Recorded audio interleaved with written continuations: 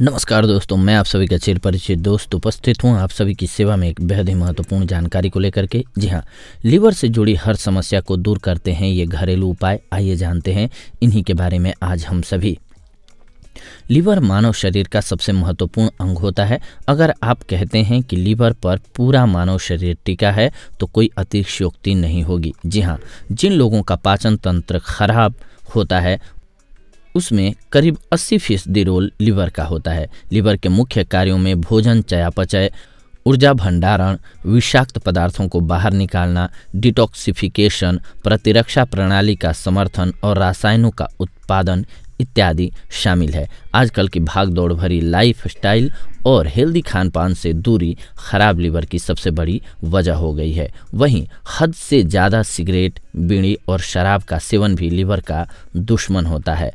इस बात की गांठ बाँध लें कि अगर इंसान का लिवर एक बार खराब हो जाए तो उसका जीना भी लगभग नामुमकिन हो जाता है। आज हम आपको अंग्रेज़ी दवाओं के बजाय लीवर को दुरुस्त रखने के लिए कुछ घरेलू उपाय बताने जा रहे हैं, जिनकी मदद से आप अपने लीवर को हेल्दी बना सकते हैं। जी हाँ जैतून का तेल। जैतून का तेल लीवर के लिए सबसे अच्छा विकल्प है। नाश्ते या फिर किसी भी तरह से जैतून का सेवन करना चाहिए।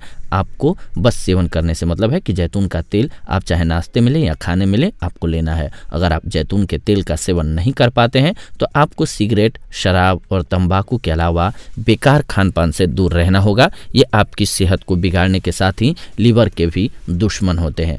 असरदार हल्दी के गुण। जी हाँ हल्दी के नियमित सेवन से लीवर की सभी समस्याओं से छुटकारा पाया जा सकता है। लीवर एंटीसेप्टिक गुण और एंटीऑक्सीडेंट का सबसे अच्छा स्रोत है।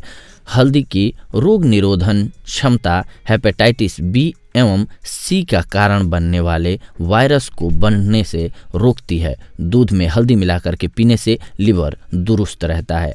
अमृत है आंवला। जी हाँ विटामिन सी का सबसे अच्छा स्रोत अगर कुछ है तो वो आंवला ही है। यह आँखों, बालों और त्वचा के लिए फ़ायदेमंद होने के साथ ही लीवर के लिए भी बहुत ही अच्छा होता है। कई शोध में भी यह बात सामने आ चुकी है कि आंवले में लीवर को सुरक्षित रखने वाले सभी तत्व मौजूद होते हैं। इसके अलावा ग्रीन टी जादू कर देता है। दूध और अदरक वाली चाय के शौकीन ये बात जान लें कि अगर आप अपने लीवर को स्वस्थ रखना चाहते हैं तो दूध वाली चाय की जगह ग्रीन का सेवन करना शुरू कर दें आप। जी हाँ ग्रीन टी में भरपूर मात्रा में एंटीऑक्सीडेंट होते हैं, जो सभी विषैले तत्वों को खत्म करते हैं। रोज़ाना सुबह उठकर एक कप ग्रीन टी पीना चाहिए। इसके अलावा वरदान है करेला।